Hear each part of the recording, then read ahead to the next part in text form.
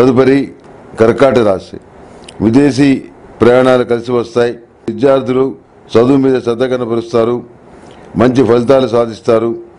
ఒక వర్గం వారిని సంతోషపెట్టడానికి మరో వర్గంతో శత్రుత్వం వహించవలసిన అవసరం లేదని గ్రహించండి.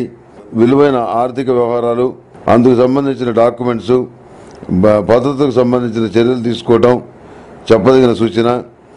విలువైన వస్తువులు వస్త్రాలు కొనుగోలు చేస్తారు. తెల్ల జిల్లేడు నిత్యం గణపతిని పూజించండి.